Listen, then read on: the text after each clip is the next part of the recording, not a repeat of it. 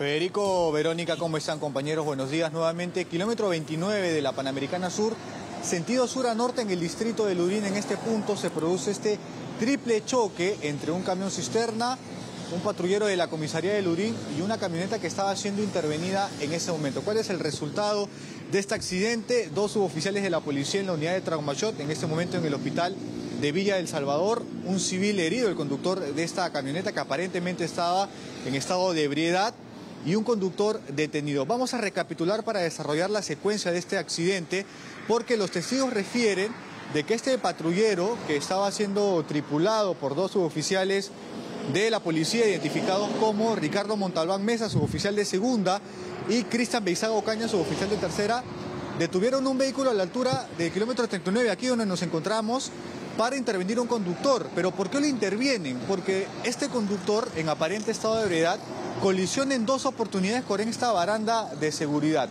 Aquí se puede ver claramente estos dos impactos. Este conductor ha sido identificado como Anthony Cabrera Meléndez.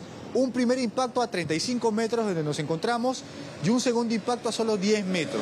¿Esto qué genera? De que la policía lo intervenga, solicite que se detiene el vehículo, el vehículo se detiene, los policías descienden de la unidad, sin embargo que hay un dato clave que podría ser relevante, y es que aparentemente, según testigos, no habrían, perdido, no habrían prendido las luces de emergencia. Y en ese momento, ¿qué pasa? Transita un vehículo a toda velocidad, un camión cisterna, que termina por embestir primero al patrullero y llevarse todo por delante, tanto a los dos suboficiales como a este chofer que estaba siendo intervenido. Y aquí finalmente termina la colisión destruyendo parte de lo que viene a ser esta baranda lateral.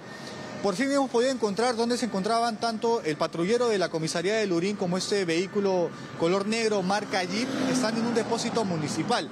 Lo insólito es que normalmente cuando ocurren este tipo de accidentes de tránsito se tiene que esperar a que la unidad acuda al lugar para hacer el peritaje correspondiente. Ya se hizo el peritaje, la cisterna ya ha sido trasladada al depósito, pero estos dos vehículos se encuentran todavía al interior. Hemos podido acceder, luego de insistir, parte de las declaraciones de este conductor del camión cisterna, que en este momento se encuentra detenido en la comisaría de Lurín, va a ser trasladado en breves a la UIAT, a que se encuentra aquí en Lurín. Este conductor ha sido identificado como Johnny Casimiro Moreno. ¿Y él qué referencias ha dado y qué ha argumentado en su, testimonio en este interrogatorio? Él indica de que efectivamente no logró divisar al patrullero de la comisaría de Lurín porque no tenía prendidas las luces de emergencia. Sin embargo, también da un dato adicional y es que él indica de que cuando estaba transitando por el carril del medio, lo que se percata es de un autoparte en el carril donde estaba transitando y él, como no divisó, pensó que era una persona, viró hacia la derecha y finalmente termina embistiendo a ambos vehículos. En la pista de este tramo de la Panamericana Sur se encuentran las huellas tanto del choque de esta camioneta negra conducida por este chofer en presunto estado de ebriedad con las barandas laterales como el desvío de este conductor del camión cisterna y es el que finalmente hace un arco y termina llevándose por delante a, tanto al patrullero como a este vehículo color negro.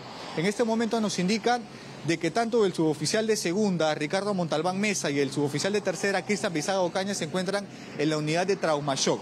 En el caso de Anthony Cabrera Meléndez, estaba bajo monitoreo en el hospital de Villa El Salvador. Este caso va a ser investigado por la unidad de accidentes de tránsito de la Policía Nacional del Perú. Un accidente de tránsito que ocurre a las 3 de la mañana y que ha sido bastante aparatoso porque en toda la explanada de lo que viene a ser este tramo de la Panamericana Sur, el kilómetro 29, se encuentran autopartes regadas, piezas de, los dos vehículos impactados y hemos visto que hubo complicaciones en algún momento para poder retirar el tracto de este camión cisterna que trasladaba petróleo que era conducido por esta persona que ya ha dado un argumento y que en este momento se encuentra en calidad de detenido. Compañeros. Claro, ya ha tenido que haber todo un trabajo para poder retirar eh, al, policía que había quedado debajo del camión, ¿no? Sí, eh, el suboficial de segunda, Ricardo Montalbán Mesa, es quien se lleva la peor parte porque él termina debajo del tracto de este camión cisterna. Han tenido que cortar las autopartes, llegaron cuatro unidades de rescate de los bomberos para poder atender la emergencia retirarlo de ese lugar y trasladarlo. Primero nos indican de que fueron derivados a la clínica Santa Marta. Sin embargo, debido a las complicaciones de las heridas producidas por este choque, han tenido que ser llevados de emergencia a la unidad de traumación del hospital de Vía El Salvador. En este momento nuestro compañero Carlos Brown nos está guiando a la primera zona de impacto de esta camioneta negra conducida por este conductor, conductor en presunto estado de ebriedad. Es un primer impacto que se produce a 35 metros de la zona más álgida del accidente donde termina ya invistiendo esta cisterna contra patrullero de la comisaría de Lurín contra este vehículo, esta camioneta negra. Aquí está el primer impacto, se ve claramente cómo ha quedado la baranda lateral y a unos 15 metros adelante se ve cómo queda el segundo impacto y es allí donde la policía decide intervenir a este conductor. Como ha referido el conductor de la cisterna, que en este momento se encuentra detenido, él estaba transitando por el carril del medio y al ver una autoparte en medio de la pista, no logró divisar si era una persona, viró hacia la derecha y en ese momento se produce toda la colisión de esta magnitud que ha dejado estos dos suboficiales de la policía en la unidad de trauma shock. Compañeros.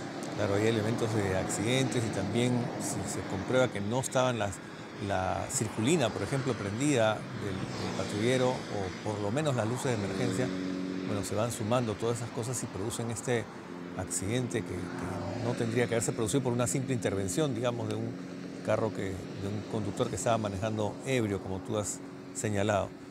Eh, bueno, esperemos noticias sobre el estado de salud entonces de los de los suboficiales y, también del intervenido, ¿no? De Anthony Cabrera Meléndez. Sí, hasta el momento lo, que nos refieren es que los dos suboficiales se encuentran en la unidad de trauma shock. En el caso del conductor intervenido, está siendo monitoreado en el hospital de Villa El Salvador. Los tres se encuentran en ese mm. hospital en Villa El Salvador. Muy bien. Gracias, y ahí por la información.